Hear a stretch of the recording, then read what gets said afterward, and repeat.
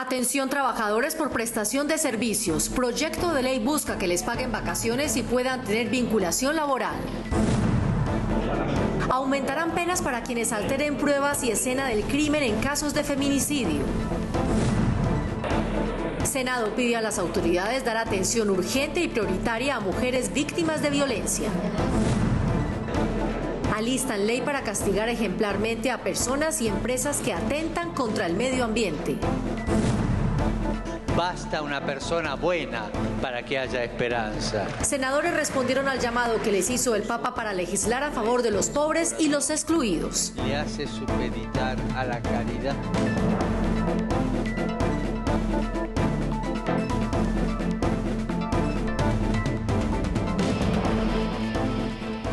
Bienvenidos a NS Noticias. Iniciamos con una muy buena noticia para los trabajadores contratados por prestación de servicios. Un proyecto de ley busca reconocerles beneficios como vacaciones y continuidad laboral en caso de discapacidad o embarazo. Les explicamos en qué consiste. Lo que se quiere es garantizar unas condiciones decentes para los contratistas de prestación de servicios. Se calcula que 800.000 personas trabajan en el Estado de esta forma, violando todos sus derechos. Si se mantiene en el tiempo por más de un año un contrato de prestación de servicios, quiere decir que no es excepcional y por lo tanto tiene que entrar en lo más similar a un régimen laboral. Igualdad de salario, prima del 25% al año, por lo menos cinco días de vacaciones y también derecho a licencias de maternidad o calamidad doméstica.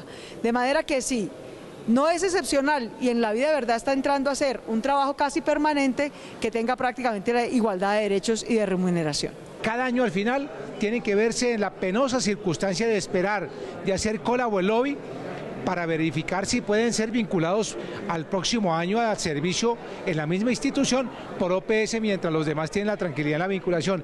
El proyecto dice además que se deberán continuar los contratos a quienes se encuentren en situación de discapacidad o mujeres en estado de embarazo o lactancia. Llegó la hora de hacer una reforma y establecer un régimen que le dé seguridad tranquilidad a quienes se vinculan por contrato de prestación de servicios al sector público, al Estado, porque es indigno y es infame el trato que reciben. Recordémosle al país que estamos en mora del Estatuto del Trabajador en la medida en que no tengamos un estatuto del trabajador, se van a seguir vulnerando esos derechos de la clase obrera de nuestro país.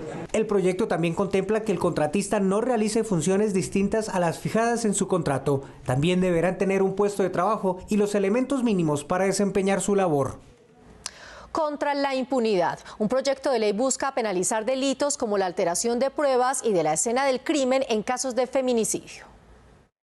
Condenas como las proferidas contra los hermanos Noguera por la violación y asesinato de la niña Juliana Zamboni pudieron ser agravadas de haber tenido en cuenta la manipulación de la evidencia como hechos que obstruyeron la investigación de las autoridades. La senadora Rosemary Martínez propuso penalizar este tipo de conductas que alteran la escena del crimen y el cuerpo del delito para desviar la investigación. Lo que le pasó a Juliana, lo que se le pasó a Sarita, a muchas mujeres, niñas y adolescentes de este país que han sido y que han tenido feminicidio, hoy con esa palabra van a tener no un año de pena ni cuatro, sino que se les va a aplicar a 12 años. Senadoras advirtieron que es urgente que las leyes en torno al feminicidio sean de conocimiento de la comunidad para evitar que los victimarios queden libres de responsabilidades penales frente a estos crímenes. Si hay manera de enseñar o de responsabilizar y de realmente resocializar este tema, hay que hacerlo con el cumplimiento de la ley. Víctimas de la violencia de género aseguran que el maltrato en contra de la mujer es una práctica que se realiza contra ellas por el solo hecho de ser mujer sin importar el contexto de violencia. Muchas mujeres,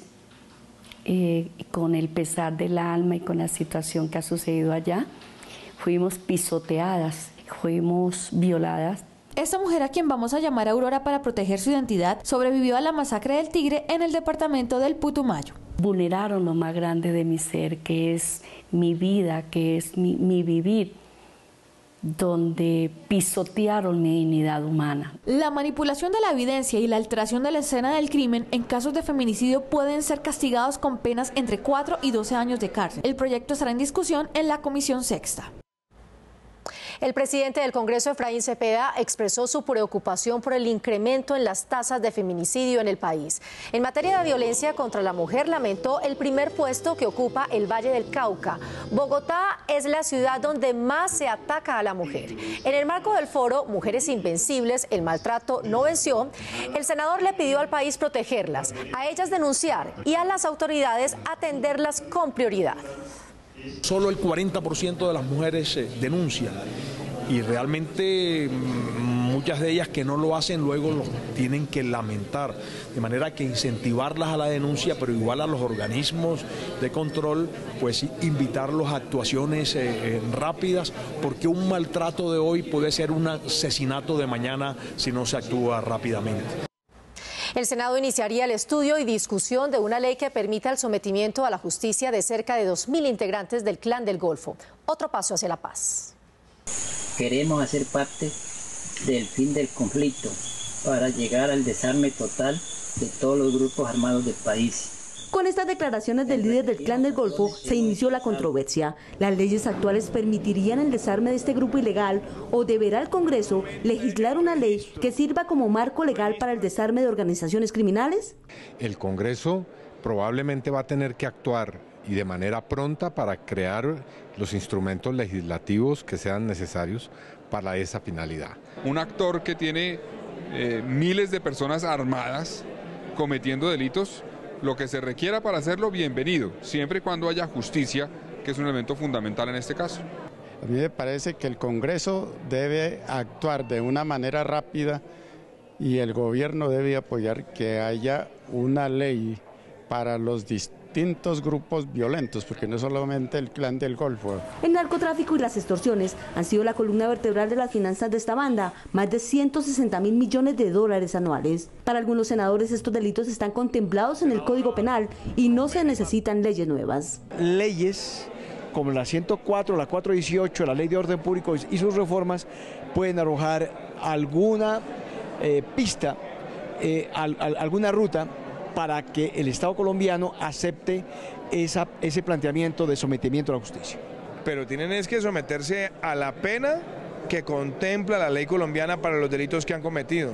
No es ahora que vamos a empezar a negociar con los carteles porque la historia de Colombia nos enseña, la historia reciente, que esos procesos de sometimiento siempre han sido abusados por el narcotráfico cuando tienen tratamiento condescendiente. Lo que sí hay que ser es muy claros, que aquí hay que tener, como lo hemos tenido, la drasticidad de tener en cuenta la verdad, la justicia y la reparación y que las víctimas sean el centro del tema. Aún no es clara la figura jurídica que se aplicaría para el desarme. Mientras el clan de Golfo habla de acogimiento a la justicia, el gobierno habla de sometimiento.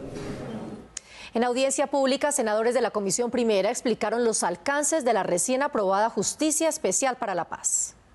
En audiencia pública, senadores de la Comisión Primera explicaron los alcances de la Jurisdicción Especial para la Paz. Insistieron que a través de ella se garantiza que no habrá impunidad respecto a los delitos que allí se traten.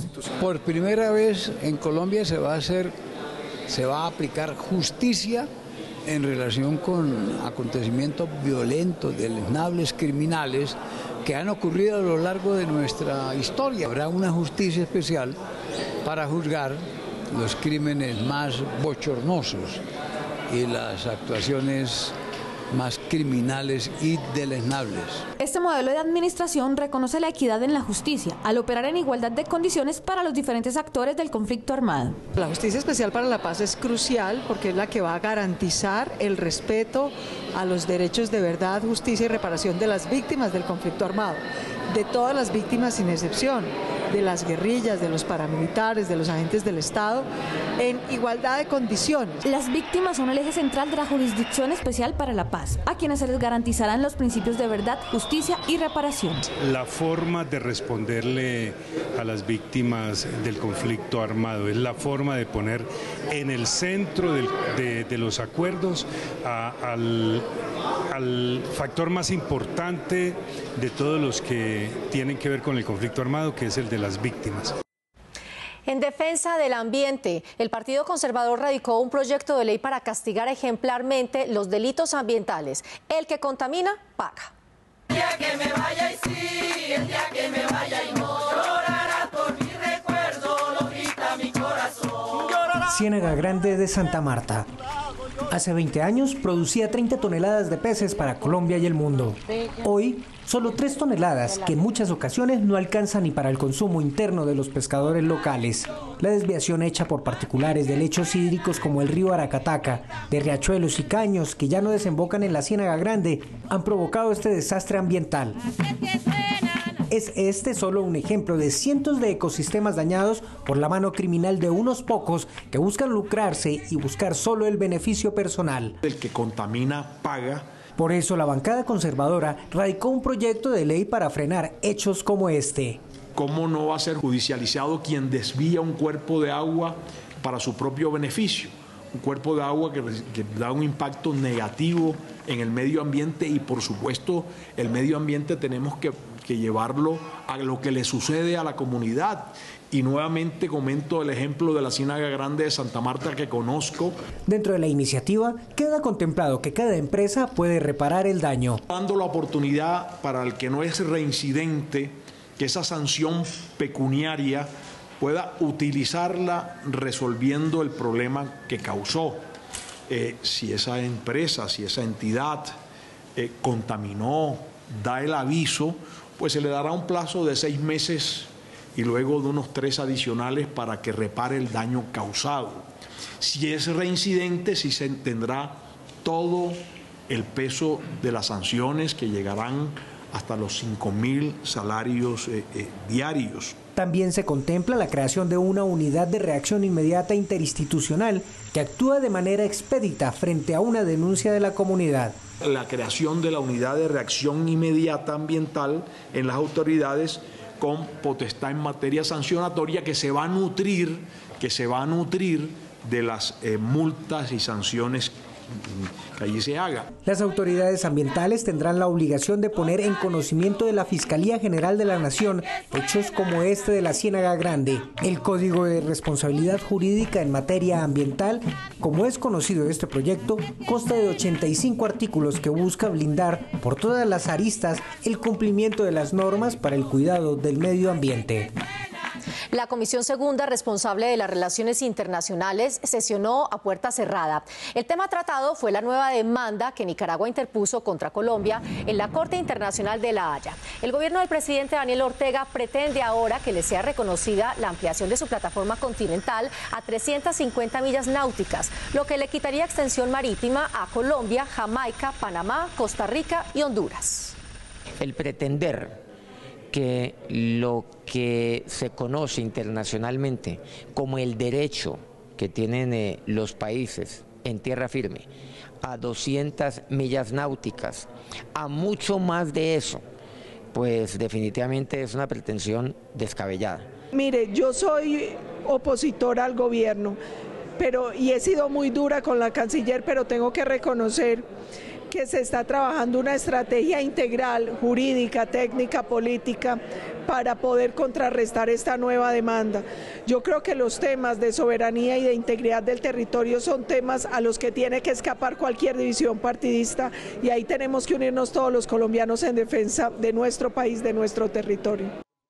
La Comisión de Ordenamiento Territorial realizará el 20 de septiembre una audiencia para analizar los alcances del proyecto de ordenanza a través del cual se crearía la Región Administrativa de Planificación Caribe.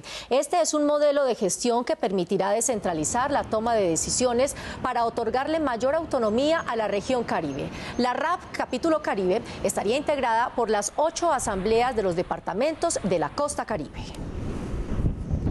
Y ante la Comisión Quinta del Senado, directivos de Ecopetrol respondieron a las inquietudes del legislativo en torno a las políticas implementadas por la entidad para superar la crisis generada por el mercado internacional. El gobierno nacional aseguró que ha tomado las medidas necesarias para enfrentar la crisis generada por la baja cotización del crudo en los mercados internacionales. Hemos bajado los costos, hemos aumentado la eficiencia, hemos sido muy productivos, hemos ahorrado, hemos sudado petróleo para dar utilidades a los accionistas, sobre todo a los minoritarios, al gobierno eh, hemos eh, prepagado deuda por 7 billones de pesos. Desde el Senado se le exigió al gobierno nacional estudiar y aplicar con urgencia estrategias claras para evitar un mayor desangre económico en el país por los bajos precios del petróleo. Había que ser muy creativos y esta comisión ha estado muy pendiente con el presidente de Ecopetrol, ministro de Minas y Energía, buscando tema offshore, es decir, costa afuera, inversiones importantes en el Plan Nacional de Desarrollo, donde existiera una zona franca, donde existieran unos beneficios del IVA. La crisis del sector petrolero, además de grandes pérdidas económicas para la industria, le costó a los colombianos, según algunos analistas, dos reformas tributarias. Desde el Vaticano, el Papa Francisco agradeció en las últimas horas la hospitalidad de los colombianos. Durante su visita al país le envió un claro mensaje al Congreso, presentar leyes con fuerza y justicia social. Hablamos con los senadores al respecto. No es la ley de más fuerte, sino la fuerza de la ley, la que es aprobada por todos, quien rige la convivencia pacífica. Yo creo que el llamado que nos hace el Papa es a que seamos justos, que el rico sea menos rico y el pobre salga de su pobreza y por eso las inequidades se tienen que acabar. Hemos padecido el secuestro, el crimen, el terror, pues eso hay que resolverlo, resolverlo mediante el sometimiento a las reglas del juego, el respeto a las reglas del juego, el respeto a la justicia. Se necesitan leyes justas que puedan garantizar esa armonía y ayudar a superar los conflictos que han desgarrado esta nación por décadas. Nosotros presentar leyes que resuelvan el problema de la salud, de la vivienda, de la educación, de la injusticia, que se castigue a los infractores de la ley, que las autoridades obren de conformidad. Leyes que no nacen de la exigencia pragmática de ordenar la sociedad, sino del deseo de resolver las causas estructurales de la pobreza que generan exclusión y, violencia tener en cuenta siempre cuando legislemos a las personas vulnerables, a las necesitadas. Por ello deben ser las leyes para buscar y los subsidios del Estado que cuando pensemos en normas y en legislación, pensemos en esa Colombia que necesita una oportunidad. La visita del Santo Padre tiene que dejarnos a nosotros tocados y a mí particularmente me toca mucho. Pues senadores de varios partidos calificaron de acertadas las palabras del Papa Francisco. Los pobres y los más necesitados deben ser objetivo de su trabajo legislativo. Los animo a poner la mirada en todos aquellos que hoy son excluidos y marginados por la sociedad. tener presente que las mujeres, los jóvenes, nuestros discapacitados, los adultos mayores, los desplazados, los campesinos no los podemos eh, marginar, no los podemos desconocer cuando ellos hacen parte de nuestra sociedad. Aquellos que no cuentan para la mayoría y son postergados y arrinconados. Me hizo pensar el, el, Papa en toda la realidad de exclusión y de arrinconamiento que viven los pueblos indígenas y los afrocolombianos en este país. Es necesario generar política social para la inclusión, el que los indígenas tenemos, tengamos condiciones dignas de vida. Que haya sensibilidad social, que haya compromiso, que se le dé una mirada a los que no tienen o que tienen eh, ausencia de, de oportunidades en la vida. Y por favor, les pido que escuchen a los pobres, a los que sufren Mírenlos a los ojos y déjense interrogar en todo momento por sus rostros surcados de dolor y sus manos suplicantes.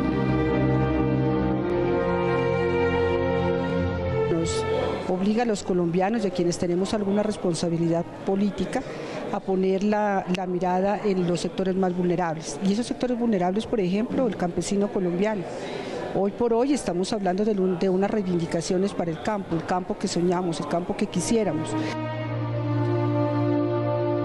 En este país hoy tenemos que mirar echar esa mirada hacia todos aquellos que han estado desprotegidos, especialmente las mujeres, esas mujeres luchadoras que hoy pues estamos buscando esa inclusión. La reconciliación fue tal vez el tema que más llegó al corazón de los colombianos y por supuesto de varios legisladores. Reconciliarse es abrir una puerta a todas y cada una de las personas que han vivido la dramática realidad del conflicto. Como víctima, entiendo que el perdón no olvida el pasado, pero el perdón sí alivia el presente y el futuro. Yo pienso que la reconciliación, el desarme de espíritus, apostarle a que este proceso se consolide, es una responsabilidad de todos. Todo esfuerzo de paz sin un compromiso sincero de reconciliación siempre será un fracaso. El Papa identifica el problema que tenemos que resolver entonces de la reconciliación. Se ha hecho un acuerdo de paz, hay un debate, pero estamos en un momento de polarización muy grande. No puede haber impunidad en este proceso de paz. Todos los que han cometido delitos de lesa humanidad tienen que pagar por estos delitos y que haya un verdadero perdón, reparación, justicia y verdad para todas las víctimas de Colombia. Es necesario que algunos se animen a dar el primer paso en tal dirección sin esperar a que lo hagan los otros tiene que ver con que toda la sociedad de nuestro país eh, realmente esté comprometida con cambiar y con implementar con éxito una cultura de paz.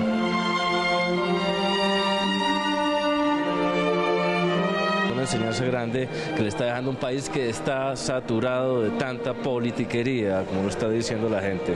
No más politiquería, hagamos, ejecutemos y obviamente cumplamos con la palabra empeñada en medio de tanta violencia que hemos vivido nosotros, la verdad es que el mensaje de paz le llegó a cada uno de los colombianos. Fue un momento excepcional para recordar en nuestra historia colombiana. No lo olviden, basta una persona buena para que haya esperanza.